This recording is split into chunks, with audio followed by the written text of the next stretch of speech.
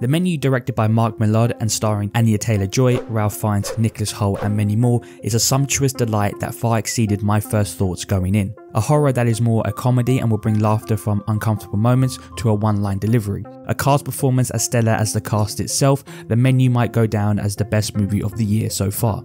A fun way to tell this kind of horror story, the woman trapped in a place full of people trying to kill her, think of movies like Ready or Not or The Hunt. This is that type of story but told in such a concise way that just like the chef's menu, this is precise and to the point without ever leaving the audience hungry for more. The menu is just a fun time. It's not being too clever, it's not being pretentious which it easily could have with this style it uses to tell the story. Mark Mylod balances all the ingredients he has to use to construct a movie that is sweet, sour and savoury all at the same time. The menu deserves an 8.3 out of 10.